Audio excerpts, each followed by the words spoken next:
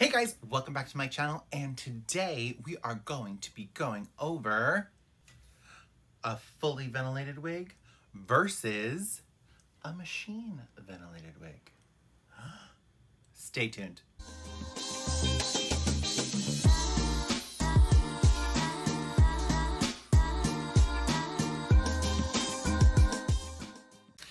Guys, we are back. So today it is which one is better? Is a Fulham Fulham fully custom made wig better than a machine made ventilated wig that you get off of Etsy or Amazon? Well, we're gonna dive into it right now. First things first, let's just say that they are both human hair. I want to just stress that right now. Yes, they are both human hair.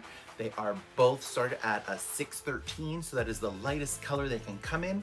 And then I personally have colored them down. So I rooted them and I gave them a color as well.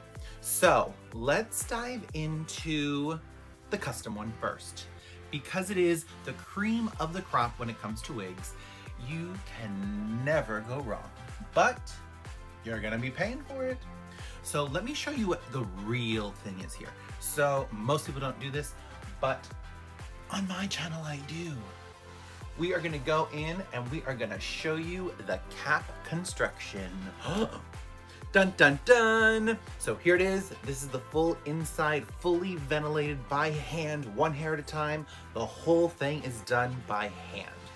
So that's the reason. It is lightweight. The foundation is made fully out of lace.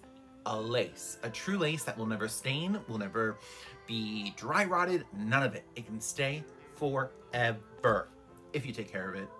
I know you don't know how to, but we are going to teach you how on my channel, so stay tuned for more stuff. So that's the fully ventilated one. Now, let's turn our Amazon order wig inside out. Dun dun dun. Here it is. All right, so as you can see, it does have lace. Once again, I just want to let you know that I personally think that these companies that are selling wigs like this are pulling the wool over your eyes. Yep, you heard it from me first. Well, probably not, but full lace. Lace? So my problem is here is that there is a stretch part first off, so great. If you don't have it custom made for you, you can buy this. And yes, the price is significantly cheaper. This, someone actually has to make it for you and get measurements and everything. This one, you buy it as it is, and then you do what you need to do. And that is where we start doing the plucking, the pulling, the bleaching, the knots, the all of it. But as you can see, their lace has stained, right? I colored it, I rooted it, look, not lace. So it is a fabric. Mm, dun, dun, dun. So if this is what you're used to as a wig, that's fine. But now you know what a real one is. See, lace is not stained anywhere on the situation. Nowhere on the situation. But here, you can see spotting. Good old spots everywhere because it's a fabric foundation. So that is the difference between fully ventilated versus Amazon buy. And this one also does have back straps to make it smaller if you need to, bring it in, bring it out. So these are great to use if you know how to use them. I do not like plucking, I do not like bleaching, I do not do any of that because that isn't worth it when you can have your own customly made wig, right? That's what we want. We want custom made for us. So the price difference, you're looking like at the most, depending on, you know, this is 22 inches. This would be around 200 to 300 dollars depending on who you go to you know because i'm sure if you've been buying wigs you get people you know on instagram hitting you up being like hi sir. Hi friend. Do you want some wigs? So with that it's about 200 dollars two to 300 dollars depending on the length. So and then a fully custom made one, like from scratch, can be anywhere between 1,500 to $20,000. Yes, you heard me right. It all depends on the hair quality, the texture, and everything. That's what you're getting with a custom made wig. You're knowing who the hair is from. So it's basically a one donor hair person. One donor to do a whole wig, correct? You heard it right. Whereas here, we don't know. This could be 5,000 different people's heads of hair. And they strip it, they bleach it, and they send it to us. And yeah, so there you go. That is my, which one do you want? So take into consideration your budgets, your timing, and how long you're gonna take care of your wigs. So if you want, please subscribe to my channel because I'm gonna be going over so many different other types of wigs and everything there is to know about wigs on my channel. You can also check out danielkoyeeducation.com if you are a wig maker yourself, so you can get the tips, tricks, and wig hacking capabilities. So thank you so much for listening for this long and questions, comments, queries, put down below. Um, what wig do you like? Do you like the custom made or do you like the Amazon buy? Let me know. So I want to introduce to you my blueprint for wigs, for all the types of wigs that you can offer your clients. And this is what's going to be able to help you visually show your clients what you're willing to offer, what services you offer. So First, we have this black line that goes all the way around. It's basically going to be their hairline. So we're gonna go off of their bubble, but before we do their bubble, this is what we're gonna show them. What do they want? So do they want a fully ventilated wig? So that means all of it, everything inside the black line is done by hand, one hair at a time, totally done for them, all right? And now I have the red line. So that is my full front. So from this line forward is gonna be my own lace that I'm gonna lay myself that you learn in this education series. And then the back is the ventilated wig or the machine made wig or the $20 synthetic wig, whatever it is. you just use the back and however way you use it, that's how you use it. Now let's talk about partings, okay? So what I do is I even have a shorter one. So I have my two finger, remember I always talk about a two finger hairline. So that's about my two finger hairline all the way around. So that's my, my light blue line okay? So they can do full, and then you would keep that machine made back, machine, ventilate, whatever it is, all the way up to there. You'll lay your own hairline and call it a day. Now we're gonna do partings. So can you see this big horseshoe I have right here? So this is what I call a full top.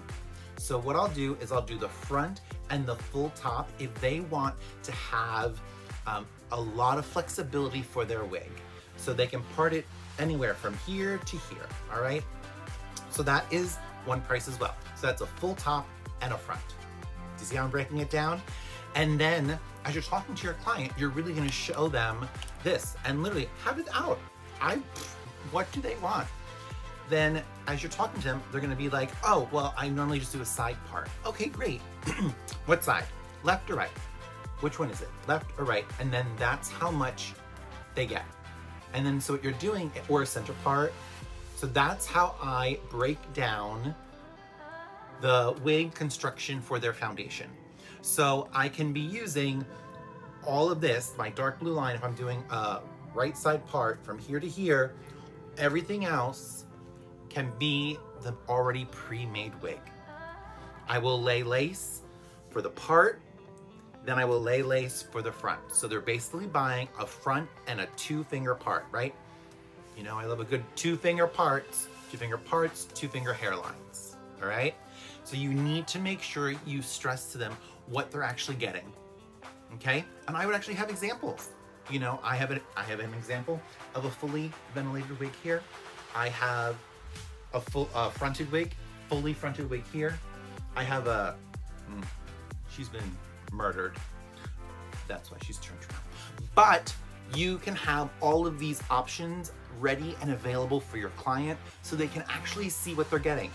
So then if they do the full thing, it's your full wig, full ventilating price. And you're looking, you know, anywhere between a thousand and up, babe. That's for a fully ventilated wig, custom construction, has to, for me anyway.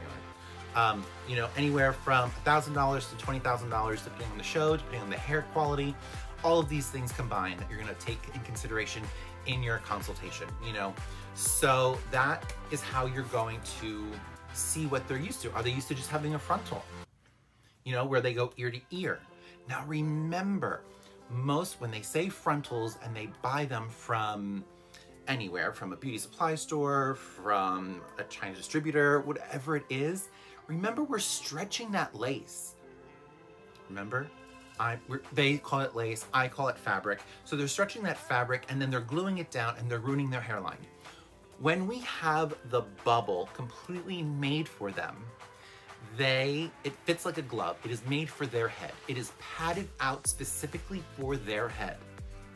Okay, this one is not padded out. It is just so you can actually see what I'm talking about, where I'm cutting the wig, what, and what prices. You know, full wig is gonna be a lot more than just doing a two finger hairline part, right?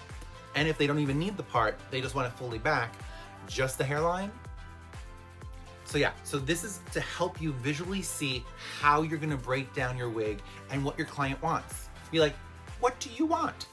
Have them point, I want the front hairline just up to here, and then I want a center part. Beautiful. Because then even there, if they're doing a center part, you know we're not really gonna see the sides, so the sides could technically be the wig's hairline, right? So there's different options. I want you to make sure you bunker it down, and like sail, sign, seal, deliver that part. So then you're going to prep your client's hair. Please stress this. I cannot stress it enough for you.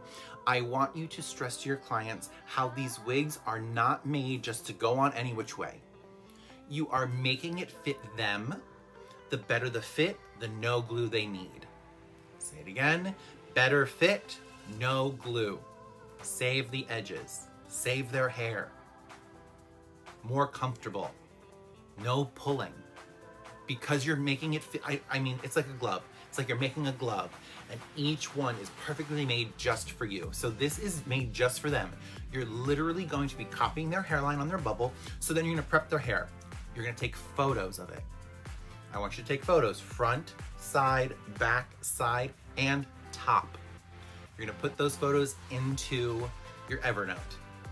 Now you're gonna put your bubble. So you're gonna take the plastic, you're gonna put it on, you're gonna wrap her head up, you're going to copy her hairline, whatever her hairline is. All right, there's a whole video for that. I'm not gonna go into it right now. So I want you to copy it, and then what you're going to do, I normally do that, copy their hairline in black, and then for her specific, or their specific wig, I draw it out on their head so they can see it. They're looking in the mirror and they're seeing where you're going to put the part and how it's gonna be. That's it, right? You're gonna take your measurements on your sheet. That's going into Evernote. Before you take it off their head, their bubble, photos, front, side, back, side, top. You're gonna put that into Evernote. This is documentation for yourself so you can reference it, but also it is really about holding them accountable of telling them this is how you have to prep your hair. Because when they come to you and they say, oh, it doesn't fit, well, how did you prep your hair? Put it on them. Put it on them. If they're not coming to you to have it put on, put it on them. Okay? So from there, you're going to have lace swatches. Okay? You're gonna have every lace that you use.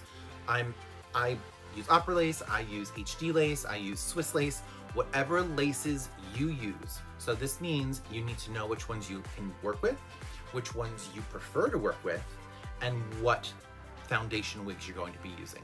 And show them, have swatches out, have them ready to go. What lace would you like? Now, what do they pick? They're gonna want the thinnest, the this, the that. So you're going to show them what that wig looks like. You're gonna take it, you're gonna take one out, you're gonna show them how delicate it is, how gentle it needs to be worn, and then in your contract, you're having, if it is not worn as you were told, the contract is in void. If a hole happens because of your wear and tear, I'm sorry, that's your fault. All right? So you need to clearly state what you're doing because you have them bring in a wig. I'm just throw, uh, bring in the wig they used to have because this is gonna help us see how they handle the wig, see what they're what they're used to, to be honest, because obviously they've been at their client, their other um, hairstylist for a long time making these wigs. So why, what, what's wrong with it? So I want you to take that as well. I want you to have it and look at it and just see and then ask the questions. What's wrong with this? Why why did you not like it? Was there something wrong? Was it ill-fitted? Give let me know because I want to make sure I'm not doing A the same thing because normally from a, a glance I already know my product is better because of the skills I know. That's normally how it goes. Normally, someone will not leave a wig maker unless they want something better. So you better make it better. So I want you to know what to pick for the foundations, how much they're willing to spend. Custom made, you already know it's a big client. You're going to need to pull up all the stops. That bubble needs to be perfect. But then if you're gonna go into the wig hacking way, taking a already pre-made wig and cutting it however which way you need to, but make sure you show them. Have one of a parted one, have one of just a fronted one, have one of a, a full front, have one of the two finger front. Have them in stock. I know it sounds like a lot, but after you're doing this for a while, you're gonna get wigs back. You're gonna be giving another wig out. So you're gonna have them. Have visuals for your clients. Like, it's the best. It's gonna take out the guesswork and it's also gonna show them what wear and tear is acceptable, how to put it on, so I want you to, to make sure you thoroughly go through that and have all those photos documented, okay? Make sure you document them. Also document as soon as they come in. Remember those photos that they just took of their hair? Make sure that's in there. Because then you have what their hair looks like, what it is after you prepped it, what it looks like in the bubble, right? So now you have all of that. Good. Um, so you're gonna take it off the head so you can use it for references. You're going to create a bubble out of your bubble your template that you've made. So there are a ton of questions, but the real person that you need to, to, to know is you. What products you're putting out, what laces you're using, what skill sets you're bringing to the table to make a better product for them.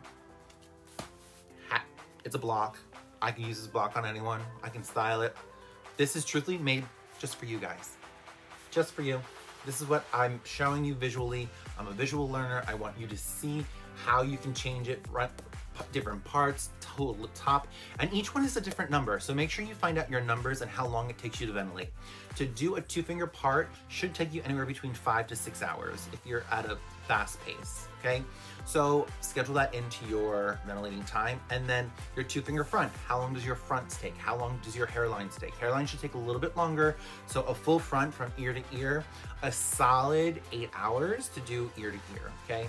So just put those numbers in your head. To do a full top like this, I would probably do this in a day. So probably like nine, 10 hours to do the top, the full top, meaning this full horseshoe.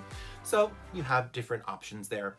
Uh, so you need to make sure you're making notes about everything and write their name on the back. write their name on the bubble. So many times, well, a lot of times I always forget but I have photos so I can reference, but just write, write their name, write their name in a marker, bright marker that you can see, and then put a piece of tape over it. So after you make all your marks, do another coat of tape over everything so it seals it in. Because say, I mean, I bring alcohol all the time in my bag for sanitary purposes. So what if that leaks on top of my permanent markers? Ooh, there goes all your things. So make sure you have that down. You know, that's really what you want. So another thing, now that you have their bubble and they're already, okay, you get the wig, they're sitting down, you're trying it on. I always schedule like another fitting. I use that very loosely because normally it's done. So what I'm going to do is I'm going to put it on. The lace is going to be long because we lay a lot of lace. So before I cut the lace off, as it's on their head, I'm going to ventilate four, five, maybe 10 hairs so they can see the technique of you doing it.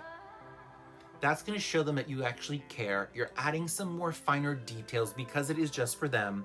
It's, you know, also it's on their head for the first time. You really wanna make it custom for them. And because it is custom for them, you can then do your little tweaks. And sometimes maybe you need to take it in a little bit in the back. So you have a fitting to make that happen to give it to them. Great, they're happy, they're on their way. See you later. Now they call you. Oh, hey, I need another one. Well, guess what? Because she's a recurring client of yours, he or she is a recurring client, they, um, you can have their front, whatever they, they normally do, if it's just the part, if it's just the hairline and the part, you can lay them out already, right? You have stock, you have all of this, and truthfully, if you have a foundation hairline that you always do, you can just have it there and ready. Oh, I need a new front. This one's, you know, it's been four months. I need a new front. Great. You know, six to twelve hundred dollars right there. Boom.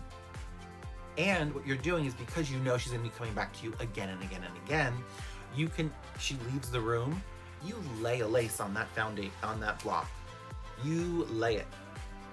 You lay it down and you start ventilating slowly and surely, just, I don't know, out, do an hour here, an hour there, so that actually you have one done before she even calls you. And bam, you have it. You have her hairline, you have everything that they need, right? Everything. So that's another service that you can offer, especially for your long-term clients that keep coming back. You can have it there, literally in in a in a file, in a folder, in a folder, labeled her name, their name is on there, whatever it is, bam. Then, oh sure, just come over. Within half an hour, you can cut off that old front, lay your new front, sew it down, and give it back. Money please, right? Perfect service you can do especially I know you guys have had clients and some of you are new. You want clients for the long haul. That's why you're going above and beyond. And that's why you're charging above and beyond so that you can have the clients that know your worth, that know what you're bringing in. They just know that you're giving them the absolute best you can. And you can tell them that you're taking classes, you're getting further education, you do your monthly meetings with me. Like you can go above and beyond and give them that red carpet treatment. So now you have everything there is for the perfect consultation. I want you to really dive in and set up these systems so that they can help you work smarter, not harder, and to be creating amazing hairlines that are going to keep your clients coming back to you again and again. It's going to be an amazing journey together because you're going to be taking them on the journey and bringing them to another level of wigs that they had no idea about.